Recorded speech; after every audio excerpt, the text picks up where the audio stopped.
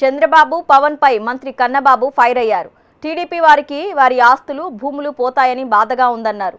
High court ఒకచోట రాజధాని మరో చోట ఉన్న రాష్ట్రాలు దేశంలో చాలా ఉన్నాయని చెప్పారు. పవన్ కళ్యాణ్ ఆలోచనలు స్థిరంగా ఉండవని అన్నారు. అన్ని ప్రాంతాలను అభివృద్ధి చేయడమే జగన్ సంకల్పం అంటున్న కన్నబాబుతో మా ప్రతినిధి Swarupa face to face. Sir చెప్పండి మూడు రాజధానులు ఎలా చూడొచ్చు? నిన్న ముఖ్యమంత్రి గారు చాలా స్పష్టంగా అసెంబ్లీలో చెప్పారు. రాజధాని మీద చర్చలో పూర్తిగా లేకుండానే తెలుగుదేశం పార్టీ వాకౌట్ చేసే చేస్తే నష్టం జరుగుతుందేమో అని సస్పెండ్ చేయించుకుని బయటికి వెళ్ళి పారిపోయారు.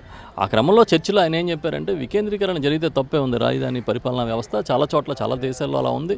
మన రాష్ట్రాల్లో కూడా ఉన్న చోట పరిస్థితులు ఉన్నాయి కాబట్టి తప్పే ఉందని మాట్లాడారు. దాన్ని పట్టుకుని చంద్రబాబు నాయుడు గారు వారి ఆయన పార్టీలు కొంతమంది రాజకీయ వర్గాలు దానికి ఏదో ఒక రకమైన భాష్యం చెబుతూ దాన్ని పొలిటిసైజ్ చేస్తూ కార్యక్రమాలు మొదలుపెట్టారు. న్యాచురల్గా చంద్రబాబు నాయుడు గారికి వెన్నతో పెట్టిన విద్య. ఇసకన్నా ఇంగ్లీష్ అయినా రాజకీయం చేసినోడు ఈ ప్రకటన రాజకీయం చేయడం ఎలా అనుకుంటాం? కాబట్టి ఆయన అదే పని చేస్తారు.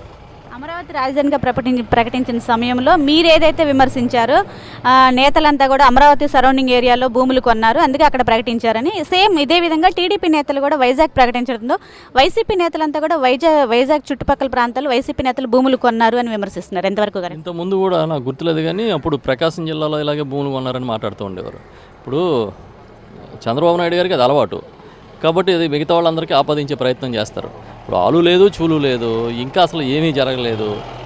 దానికోసం ఏదో ఏదో జరిగిపోతున్నట్టుగా అభూత కల్పనలో ప్రచారం చేస్తే నమ్మడానికి ఎవరో ప్రజలు సిద్ధంగా లేరు. ఆయన ఏదో మాట్లాడుతూ ఉంటారు అలాగా. అంటే విజయసాయి రెడ్డి గారు ఢిల్లీ కంటే కూడా వైజాగ్లోనే ఎక్కువగా ఉంటున్నారు. ఈ భూదందాలన్నీ కూడా ఆయన ఆధ్వర్యంలో జరుగుతున్నాయని టీడీపీ నేతలు మాజీ ఎమ్మెల్యేలు కూడా విమర్శిస్తున్న పరిస్థితి. అంటే కావాలని బురద జల్లడంలో చంద్రబాబుని మించినోడు లేడు ఎవరు. విజయసాయిరెడ్డి గారు గత ఐదారేళ్ళ క్రితం నుంచే విశాఖపట్నంకి పొలిటికల్ ఇన్ఛార్జిగా ఉన్నారు ఆయన అక్కడ. మా ఇన్ఛార్జ్ ఆయన పార్టీ ఇన్ఛార్జ్. ఆ ప్రాంతానికి ఆ మూడు జిల్లాలో రాజకీయ కార్యకలాపాలు చూడడం ఈయనకి ఎలాగైతే ఇన్ఛార్జీలు ఉంటారో అలా ఉన్నారు. అంటే అక్కడ ఇన్ఛార్జిగా ఉంటే మొత్తం ఇంక ఇదేనా? అంటే చంద్రబాబు నాయుడు గారికి అలవాటు అది. చంద్రబాబు నాయుడు గారికి ఎవరినైనా సరే బురద జల్లేసి దాంట్లో లాక్కొచ్చేసేంత ప్రావీణ్యత ఉంది.